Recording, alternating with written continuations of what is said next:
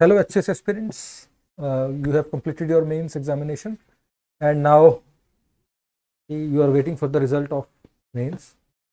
Although it is very uh, very right to wait for the result but at the same time ज़रूरी ये भी है कि आप अपने इंटरव्यू के लिए कुछ एफर्ट्स करने स्टार्ट करें जैसे आपने मेंस के एग्ज़ाम में देखा है कि बहुत अच्छा पेपर डाले उन्होंने किसी भी तरह से उनको आसान पेपर नहीं कहेंगे यूपीएससी जैसे नहीं थे लेकिन एटलीस्ट स्टैंडर्ड अच्छा था and I really congratulate Haryana public service commission for conducting such a paper कुछ कुछ ऑप्शंस में खामियाँ लोगों को लगी और उन्होंने कुछ ऑब्जेक्शन रेज करे हैं। बट हर एग्ज़ाम में देखिए जब इतना बड़ा एग्ज़ाम किया जाता है तो कुछ ना कुछ गलती शायद रह, रह सकती है ऑल रहनी नहीं चाहिए। बट लेकिन मेरा ये लेक्चर करने का मकसद है to streamline your to your to orient you towards interview preparation तो इंटरव्यू को आप लाइटली मत लें। Interview can make or break तो अपनी इंटरव्यू की तैयारी आप कुछ कुछ स्टार्ट कर सकते हैं। uh, हमने मेंस की टेस्ट सीरीज़ जनरल स्टडीज़ की करी ऑप्शनल की करी। बहुत अच्छी गई टेस्ट सीरीज़ तो बहुत अच्छे उसमें से क्वेश्चन पेपर में पूछे गए। एंड वी फेल्ट एनकरेज बच्चों के बहुत अच्छे कमेंट्स आए। तो और it is very important now कि you should start your preparation for interview मैं आपको जस्ट ब्रॉडली आउटलाइन कर देता हूँ। कि इंटरव्यू के लिए क्या क्या आपको तैयारी करनी होती है तो so that you can start that preparation we will also study start a course shortly but उससे पहले हम आपको क्या आपकी तैयारी का बेस बना सकते हैं, वो मैं आपको बताना चाहूँगा। देखिए इंटरव्यू के अंदर सबसे इंपॉर्टेंट एक एंगल होता है कि आपको कैसे इंटरव्यू में बिहेवियर अपना कंट्रोल करना है। कैसे एंट्री करनी है, कैसे बिहेवियर बिहेवियरल आस्पेक्ट्स जो हैं, वो तैयारी करनी पड़ती है। इसके लिए मैं एक कोर्स में लेक्चर रिकॉर्ड करूँगा। लाइव कर सकते हैं एज़ पर योर रिक्वायरमेंट कि कैसे एंट्री करनी है, कैसे एग्जिट करनी है, कैसे बैठना है, कैसे बोलना है, कब चुप करना है है ना? वो सारे बिहेवियरल आस्पेक्ट्स हैं। फिर एक बायोटा बेस्ड क्वेश्चन आपको तैयार करने होते हैं, जो आपके बायोटा से निकलते हैं रिगार्डिंग क्यों आप एच बनना चाहते हो, अगर जॉब कर रहे हो तो क्यों अभी जॉब छोड़ना चाह के आप नई जॉब कर रहे हो, या इंजीनियरिंग करी है तो इंजीनियरिंग की जॉब क्यों नहीं कर रहे why you are coming to H ऐसे कई क्वेश्चन होते हैं जो बायोटा बेस्ड क्वेश्चन होते हैं, है ना? तो वो वो ज़रूर हर इंटरव्यू में पूछे जाते हैं सिविल सर्विसेज़ के and you must prepare all those questions और थर्ड टाइप के क्वेश्चन जो पूछे जाते हैं, वो एब्स्ट्रैक्ट क्वेश्चन हैं सिचुएशन दे देते हैं आपको। ये आजकल हर स्टेट लेवल के कमीशन में भी क्वेश्चन पूछ रहे हैं कि आपको स्टेट दे दिया कि आप किसी ऑफ़िस में हो, आप डिप्टी कमिश्नर हो, आपके पास ये कंप्लेंट आती है, आप क्या करोगे? या कोई भी रॉयट्स हो जाते हैं तो आप क्या करोगे? या कोई ऐसी, कोई भी समस्या आ जाती है तो आपको डिसीज़न मेकिंग एबिलिटी चेक करने के लिए they sometimes ask questions on abstract note अब देखिए, इसके बाद आपकी जो होम स्टेट है, जैसे हरियाणा है होम स्टेट इसके ऊपर क्वेश्चन पूछे जा सकते हैं। जिस प्लेस से आप सपोज़ करनाल से हो आप, सोनीपत से हो, पानीपत से हो, वहाँ के क्वेश्चन पूछे जा सकते हैं। फिर उसके बाद आपके हॉबीज़ पे क्वेश्चन है, जो हॉबीज़ आप मेंशन करोगे, वो हॉबीज़ पे क्वेश्चन आपके पूछे जा सकते हैं। दैट यू मस्ट प्रिपेयर और उसके बाद करंट अफेयर्स पे हैं, जो करंट अफेयर नेशनल और इंटरनेशनल चल रहे हैं, उसके ऊपर ज़रूर क्वेश्चन पूछे जाते हैं।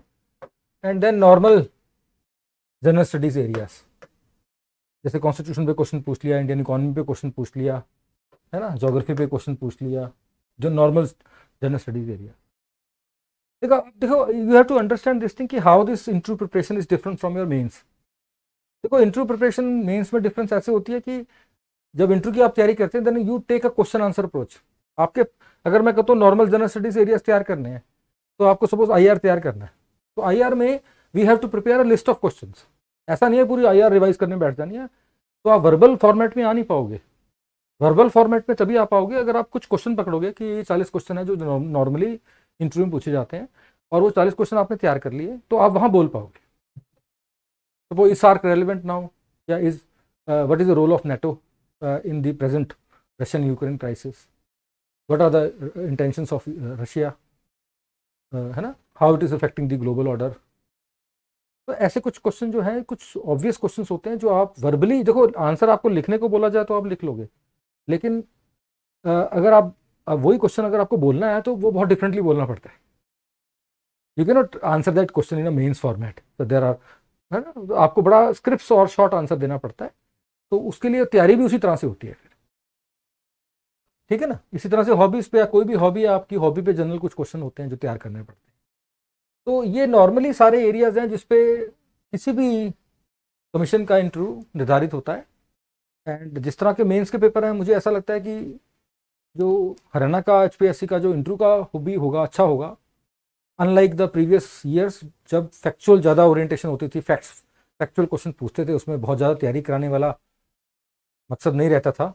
They you as arbitrary facts तो लेकिन अब मैं ये एक्सपेक्ट कर सकता हूँ कि मेच्योर इंटरव्यू होगा और इन चीज़, इन जो इंटरव्यू आपका, इन दायरों पे होगा ठीक है ना? तो Abhimanyu at Abhimanyu we are providing you three types of resources जो आप अवेल कर सकते हो। एक तो आपका, एक हम personalize question bank P Q B personalize question bank आपको बना के हम दे सकते हैं।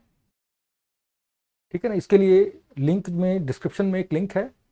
पर्सनलाइज क्वेश्चन बैंक करके आप उस पर जाएँगे। तो वहाँ से जो एक डैफ की सैंपल कॉपी है, जो हम, हमें चाहिए इंटरव्यू के लिए, आप वो डाउनलोड करेंगे, उसको भरेंगे फ़ोटो लगाएँगे और स्कैन करके वापस वहीं पे अपलोड कर देंगे। जिससे वो जो पर्सनलाइज क्वेश्चन आपका जो डैफ है, हमारे पास आ जाएगा। And within forty eight to seventy two hours we will give you a personalize question bank हम आपको एक पर्सनलाइज क्वेश्चन बैंक देंगे। ठीक है? और उसको आप तैयारी करना शुरू कर सकते हो। सेकेंडली हम आपको मॉक इंटरव्यूज़ दे सकते हैं। प्रैक्टिस के लिए mock interviews both in online and offline format तो मॉक इंटरव्यूज़ आप हमारे पास दे सकते हो। और थर्ड मेरा एक दस से पंद्रह लेक्चर्स का प्रोग्राम होता है इंटरव्यू का on different aspects of interview इन सब आस्पेक्ट्स पे इंटरव्यू के मेरे मेरे लेक्चर्स होते हैं। वो कोर्स आपका जब मेंस का रिज़ल्ट आने वाला होगा, आसपास उसके स्टार्ट करते हैं हम। तो वो आपके पास एक अवेलेबल रहेगा। हम पहले भी स्टार्ट कर सकते हैं, अगर बच्चे विलिंग हो गए तो हम पहले भी कर सकते हैं स्टार्ट लेकिन अभी के लिए to start with you must get your personalize question bank so that you must start preparing for the exam फिर आप मॉक इंटरव्यू दे सकते हो एक आधा diagnostic mock just to check your level of preparation now तो उसके बाद जब मेंस का रिज़ल्ट आता है तो एकदम आप फुल फ्लैश्ड इसको कैरी कर सकते हो। ठीक है? तो ये तीन चीज़ें हम आपको दे सकते हैं and I hope with this lecture you will be oriented towards interview preparation और आप फोकस होकर इंटरव्यू की तैयारी स्टार्ट कर। कोई भी क्वेश्चन है जो लोग ऑलरेडी हमारी टेस्ट सीरीज़ कर चुके हैं उनके पास हमारा मेंटरशिप नंबर है। वहाँ पे they can always message me on this number nine five zero triple one four zero two one ये नंबर है आपका nine five zero triple one four zero two one इस नंबर पे आप मुझे मैसेज कर सकते हो regarding this interview any question और सेकेंडली uh, जो है आपका बाकी जो बच्चे जिन्होंने पहले हमसे कोचिंग नहीं ली हुई है they can also click on this links given in the description and they can get personalize question bank right तो thank you very much best of luck prepare